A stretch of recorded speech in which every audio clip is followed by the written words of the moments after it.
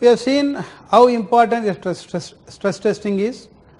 Uh, stress testing is to be done. Every, every regulator advises the banks to go for stress testing. That is the reason after subprime crisis, Fed advised all the banks to go for uh, stress testing. There's a beautiful Geithner report on that. Based on that, all US banks did stress testing. And also after Greece crisis, also uh, European Central Bank advised the banks to go for uh, stress tests to my knowledge already banks have gone for three doses of stress testing.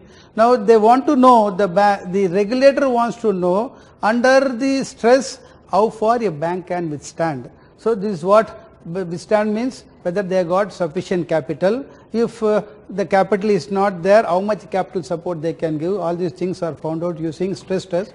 So stress testing an important risk management tool that is used by banks as part of their internal risk management and through Basel II capital adequacy framework required by the regulators. This stress test is part of uh, pillar 2 that is supervisory review process. So every bank is supposed to do the supervisory review process. The ICAAP should contain a stress testing policy and the stress testing is to be carried on periodically. Stress testing alerts the bank's top management to adverse unexpected outcomes related to a variety of risks and provides an indication of how much capital might be needed to absorb the losses should, should the unexpected large shock uh, occurs. Because finally any bank failure, it affects the country, it affects the regulator and it affects the system, it affects the real economy. So the regulator, the supervisor should know if such and such stress comes, how far this bank can uh, uh, uh, live or how far it can cope up or if it gives away what is the capital support the regulator has to give all these things are found out through using this stress test Having recognized the importance of stress, stress, stress testing in risk management, the BCBS, Basel Committee on Banking Supervision, came out its paper on 6 January 2009. It's a dedicated paper. It's called the Principles for Sound Stress Testing Practices and Supervision, which states as how the banks have to implement the stress testing practices. They have stipulated how it is to be done. These principles cover the overall objectives, governance, design and implementation of stress testing program as well as issues related to stress testing of individual risk and products.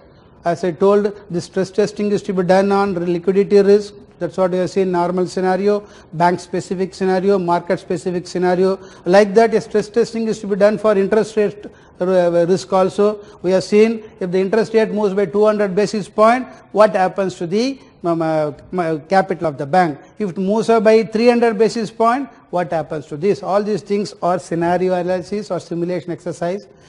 Nout Wellink, the past chairman of BCBS has given so much of importance to stress testing and he has said that stress testing is an important risk management tool it plays a critical role in strengthening not only the bank corporate governance but also the resilience of the individual banks. They come to know how far they can withstand and the financial system. The recent financial crisis has demonstrated all these things are given so much of importance. Stress testing, risk management, particularly after global subprime crisis. The recent financial crisis has demonstrated the importance of stress testing as an integral part of any bank's risk management.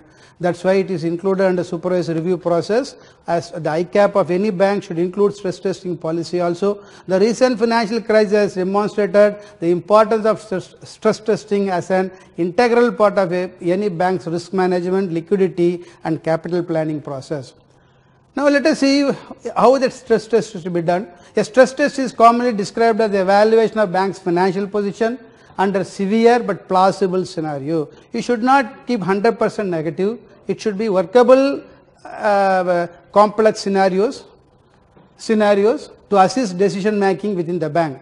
As per the guidelines, the stress testing has to play the important following roles. What are the roles?